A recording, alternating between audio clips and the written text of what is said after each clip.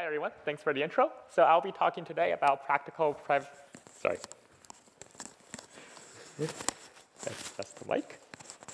Okay, I'll be talking today about practical order revealing encryption with limited leakage. This is joint work with uh, Nathan Chenette, Kevin Lewi, Stephen Weis.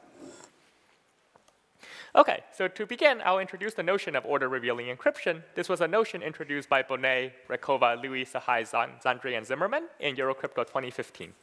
So an order revealing encryption scheme is a secret key encryption scheme where the client who holds a secret key is able to encrypt numbers and he, the client can then send these numbers to a server.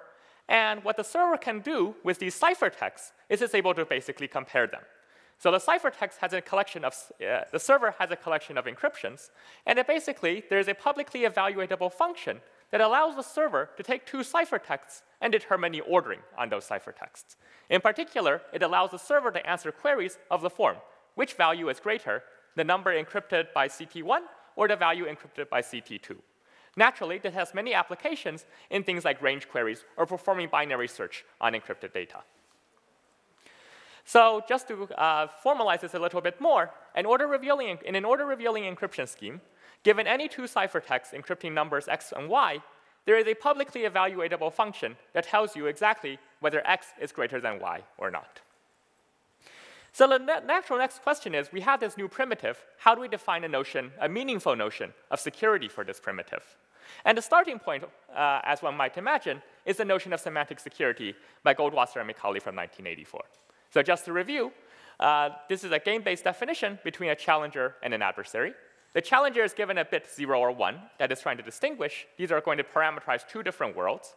And basically, at the beginning of the game, the challenger will sample a secret key for the encryption scheme, and the adversary can now make queries, chosen message queries. It submits two messages, M0 and M1, to the challenger, from, drawn from the message space of the adversary's choosing.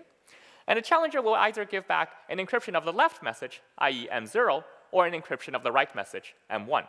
And now the adversary can repeatedly query the uh, challenger, and at the end of the game, the adversary needs to guess. Is it getting encryptions on the left or encryptions on the right?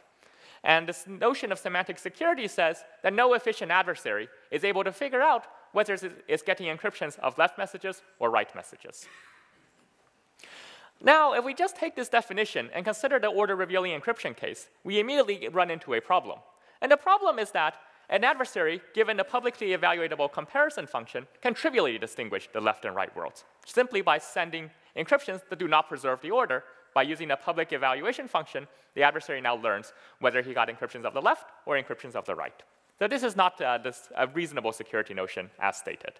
But it turns out that if we impose a simple restriction, we can actually recover a meaningful and useful security notion, which is basically when the adversary submits pairs of messages on the left and right, if you consider the set of messages he submits on the left and the messages on the right, the ordering must be preserved. So therefore, if the adversary starts comparing ciphertexts, it's going to get the same response regardless of whether it's getting left encryptions or right encryptions. So otherwise, uh, the adversary is still free to uh, query the challenger on messages of its choosing.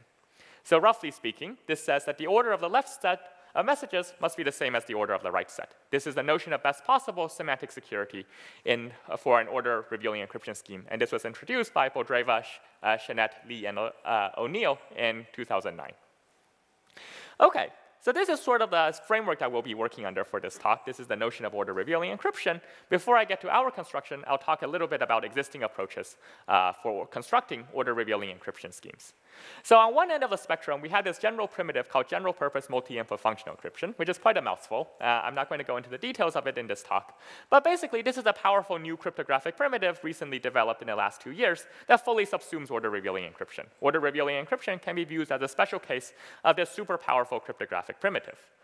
And not surprisingly, this also achieves best possible semantic security under the security notion I just described. Now, there has to be a catch, right? Otherwise, there would not be anything for us to do if we already solved this problem. And the, reason, and the catch is that this is horribly impractical.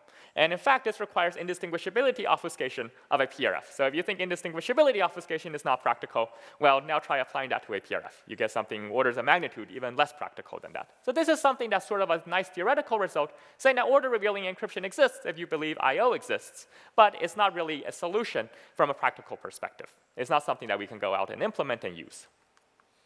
Okay, so more recently in Eurocrypt of last year, uh, Boneh et al. Uh, developed a new solution for order revealing encryption that did not rely on indistinguishability obfuscation, but relied on another very powerful cryptographic primitive called multilinear maps. I'm not going to go into the details here, but this was much more efficient than general purpose I.O., but, and it achieves best possible security. But unfortunately, uh, one, the security of multilinear maps is not currently very well understood. And in fact, if you look at the last couple months, there has been numerous attacks on, multi, on current multilinear map candidates that has raised a lot of doubts about the security of constructions that rely on these multilinear maps. And uh, on the other side, uh, these constructions, while it is more efficient than I.O., that is not saying too much. The efficiency of these still leaves a lot to be desired, and just as a point of uh, comparison, a typical ciphertext using under this scheme will be on the order of gigabytes given current uh, multilinear map candidates. So this is, again, not something that people could use in practice if we want to do order revealing encryption.